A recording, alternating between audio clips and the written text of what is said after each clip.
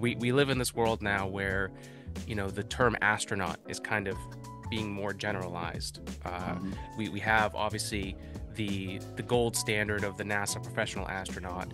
Um, we have our private citizen astronauts, like what SpaceX is doing, uh, and, and Axiom and stuff like that.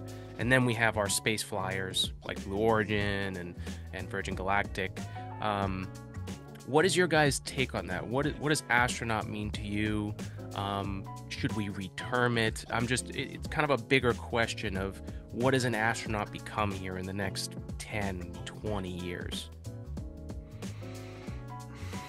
I'll let Emily take that. Okay. First. uh, I kind of, I have, I, I sort of have an answer for this. Um, I think as the roles are changing, you know, uh, we're seeing a lot of, uh, just just to use an example, uh, le- more recently we saw Emily Calandrelli, who's an amazing space communicator, go to yeah. space uh, on Blue Origin.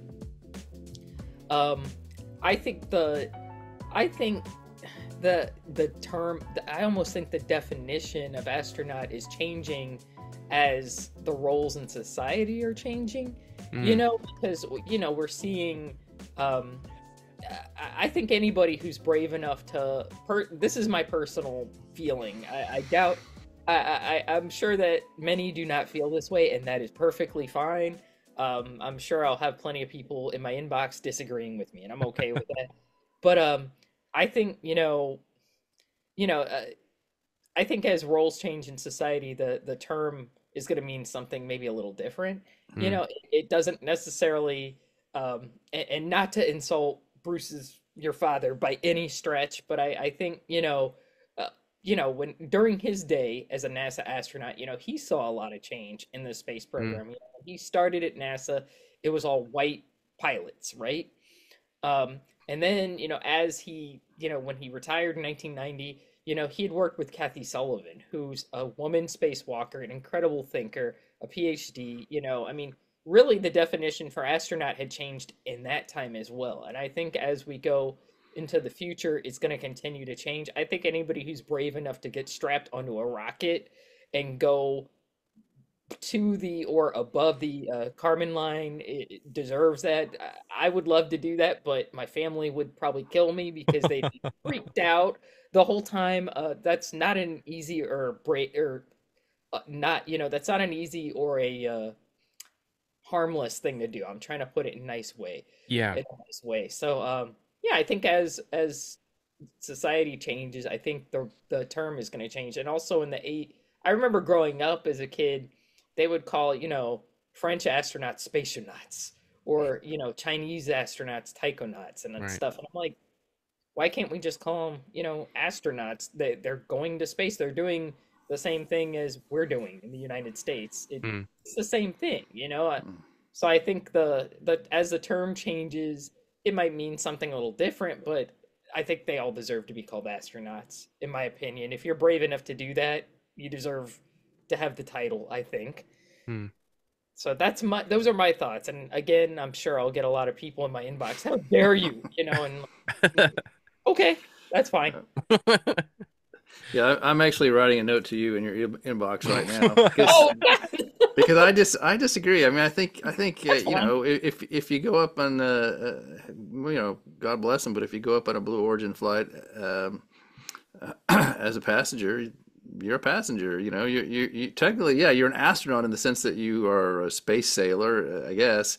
But mm-hmm. uh, uh, but I think I think the term astronaut should be, or some other term. We should have some other some other more specialized uh, categorization for someone who ha- has responsibility for flying and or operating some some portion of the uh, uh, of, of the objectives I'm not saying this very well, either flying this the spaceship uh, or performing uh, tasks related to its mission. Uh, those mm. those people are the astronauts. Otherwise, I'm just along for the ride. I mean, you know, the the the, uh, the Soviets took up a uh, I don't know if it's the Soviets or the Russians at this point. They took up a Japanese journalist yeah. Uh, way back when this sort of thing was just starting to happen, and and. he certainly wasn't an astronaut. he spent most of his time vomiting and, and trying to trying to file his stories. Um, uh, so yeah, he was up there in space, but I, I, I, wouldn't call him an astronaut. I wouldn't have called Bill Nelson an astronaut or Jake Garn or uh, uh, of course, I'd I'd call Bill Shatner an astronaut because he did all those missions on the on the Enterprise, but but, uh, but not not on the basis of his Blue Origin flight. So so we I think we disagree a little bit on that, uh, which is fine. I mean, I, you know, I'd I'd go in a minute.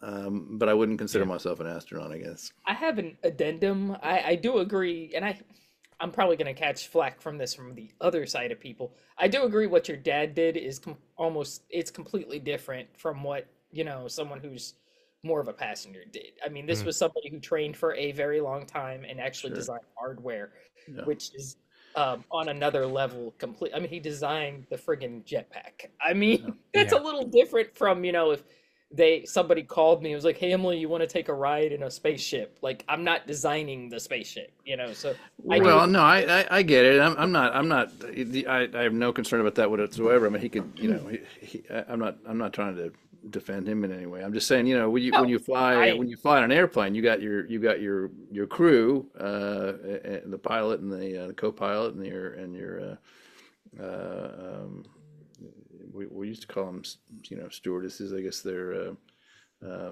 what are they? What are they called? Flight attendants. I Flight think. attendants now. Flight yeah. attendants. Yeah. Uh, and then you have your passengers, and and um, so I think eventually we'll get to the point where we we make those sort of distinctions for space flight as well. Hmm. Yeah, uh, float, atten- float. There'll be float attendants at that point. Float attendants. attendants. we uh here we we had some of our our listeners. We we called um the Kármán line jumpers space flyers is what we're using right now. Um, but it, it's all it's all very fluid. Like I I agree. I oh, I agree. Yeah, yeah, yeah. There's there's definitely something special about being a professional astronaut and then being on that jetpack and having the mm-hmm. trust and faith in that thing is just is just wild. I, I watch that picture and I get anxiety and excitement, but mostly anxiety because of yeah. how poorly it could have gone. And it didn't, luckily, but it definitely could have. well, right. And to your point, I mean, look at Jared Isaacman. I mean, he's a mm. he's a, a, a private astronaut, but he uh, but he trained and and uh, accomplished the first civilian uh, spacewalk. Uh, I mean, uh, you know, it wasn't exactly a spacewalk in the sense that Leonov or Ed White or, or someone right. else did, but it was a he he you know, stuck his body out uh, out of the uh, out of the spaceship and and uh, communed with Earth, evidently. So I call that not a space walk, but a space grok. Space uh, and, I like it. and and uh, uh, you know they depressurize the cabinets or they I don't know. I mean that that sort of looks like astronaut stuff to me. So you're right. It's a yeah. fluid, you know, sort of like the Kármán line. I mean, no one knows exactly where space starts and the mm. atmosphere ends. So uh, maybe Jared Isaacman is right there at the uh, right there at the Kármán line somehow, figuratively. Yeah.